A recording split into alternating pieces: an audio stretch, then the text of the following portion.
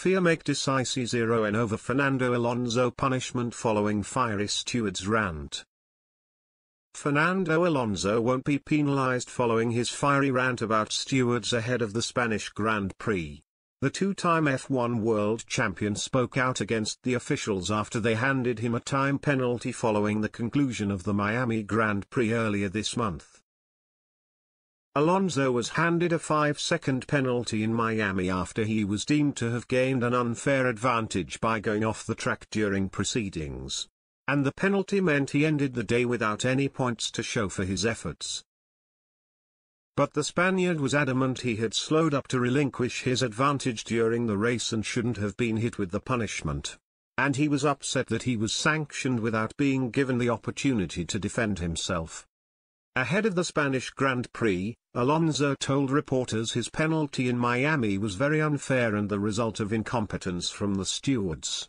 He called their conduct not very professional and insisted he had not seen any improvement from the FIA this season following their decision to replace last season's race director Michael Masi with Niels Wittich and Eduardo Freitas this year.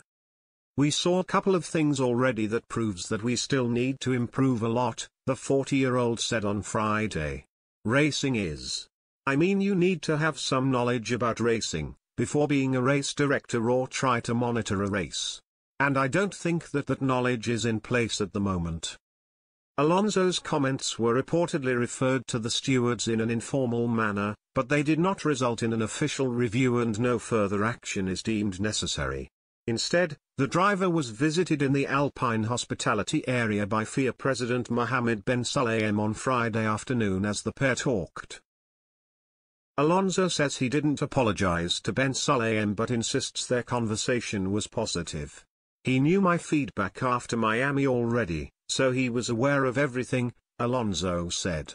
At the end of the day, we are all trying to help each other. The FIA, drivers, GPDA, we are all in the same boat and we try to make the sport more fair and better. I think it was a nice and friendly talk, and we will move forward and hopefully get better and more consistent. Alonso is set to start today's Grand Prix in 17th place after a disappointing showing in qualifying. And he will need to put in a top performance if he is to claim any points.